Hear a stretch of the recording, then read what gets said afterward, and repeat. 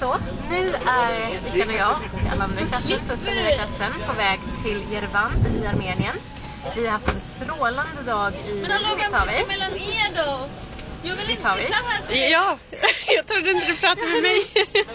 Jag pratar med mina. I alla fall. Eh, vi har besökt en gotisk, underbart vacker kyrka, Stefandomen.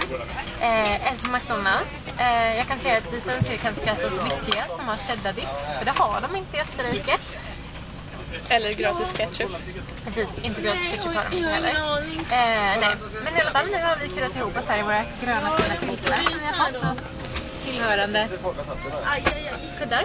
Eh, och vi kommer få mat, vilket känns bra för att eh, jag är ju väldigt, väldigt hungrig.